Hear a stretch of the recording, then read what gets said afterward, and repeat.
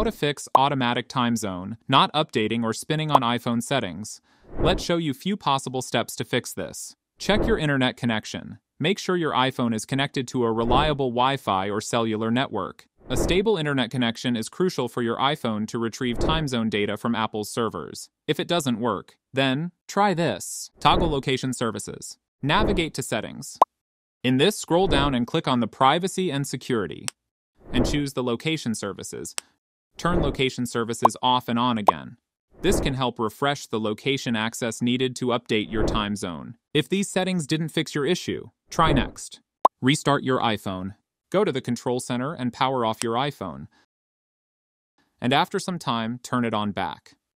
Sometimes a simple restart can resolve issues by clearing temporary software glitches. Still, the time zone didn't update. Try next. Update iOS. Check if there's an iOS update available by going to Settings. There, click on the General. In this, click on Software Update. Installing the latest iOS version can fix bugs related to time zone settings. After that, go to the Date and Time settings and see if the time zone is updated or not. If it didn't update, try next. Reset network settings. Go to Settings on your phone. Then, click on the General and scroll down tap on the Transfer or Reset iPhone. In this, click on the Reset. In the pop-up, click on Reset Network Settings. Again, click on Reset Network Settings.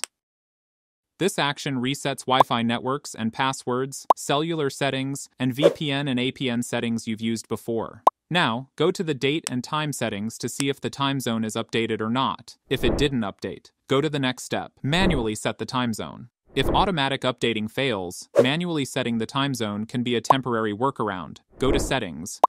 Select General. In this, choose the date and time and disable Set Automatically and choose your time zone. This can fix your issue by adjusting the right time zone manually. Still, you can't update. Final option is Contact Apple Support. Contacting Apple Support can help address any underlying issues that might be causing the time zone setting to malfunction. And that's it.